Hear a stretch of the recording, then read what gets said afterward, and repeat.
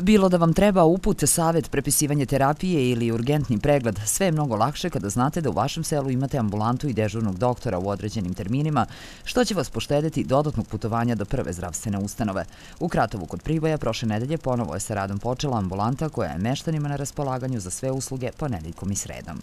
E, jutro sam e, imala nekih 19 pacijenata, e, većina je dolazila za poredovnu terapiju, bilo je dosta i pregleda, Uglavnom su to respiratorne infekcije. E, ljudi su e, prosto zadovoljni srećni što je ambulanta opet krenula sa radom. Malo su nam uslovi otežani za odlazak na teren, mada se trudimo da nešto što možemo i telefonski i nekad kad smo u mogućnosti da odemo, odemo. Tako da ćemo videti kako će u narednim danima to funkcionisati. Za one kojima je neophodna zdravstvena usluga u seoskim ambulantama, njihov rad je od velikog značaja, kažu meštani, odnosno pacijenti. E, upravo sam infuziju primio, nekciju, temperaturu veliku, imam probleme sa bronhijama, puno znači ova ambulanta,